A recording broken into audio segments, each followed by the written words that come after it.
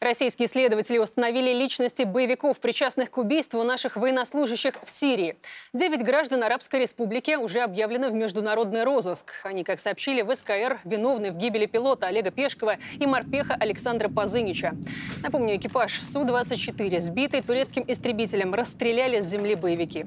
Штурману Константину Мурахтину удалось спастись. Летчик Олег Пешков погиб. Затем огонь открыли по вертолетам, которые прибыли на помощь. Александр Пазынич получил смертельное ранение.